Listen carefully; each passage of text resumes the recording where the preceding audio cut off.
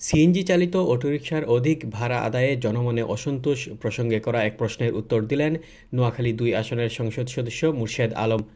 আমার MP dot কমের মাধ্যমে প্রশ্নটি করেন ওই এলাকার মোহাম্মদ গুলাম সারোয়ার। এক ভিডিও বার্তার মাধ্যমে এমপি মুর্শেদ আলম এর জবাব দেন। গোলাম আপনার প্রসেসের জন্য আপনাকে ধন্যবাদ। সিএনজি অটোরিকশা ভাড়া বাড়ানোর ব্যাপারে যে প্রসেস আপনি করেছেন, আপনারা জানেন সিএনজি অটোরিকশা এখানে ভাড়া ছিল। দশ টাকা, পরে এটা হয়েছিল বারো টাকা।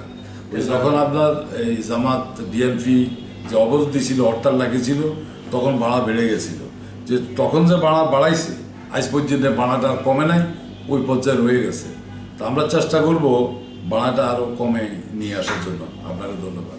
এমপির কাছ থেকে উত্তর সংগ্রহের প্রক্রিয়াটি সমন্বয় করেছেন আমার এমপি ডট কম নোয়াখালী দুই আসনের অ্যাম্বাসেডর আবদুল্লাহ ইবনে আরমান।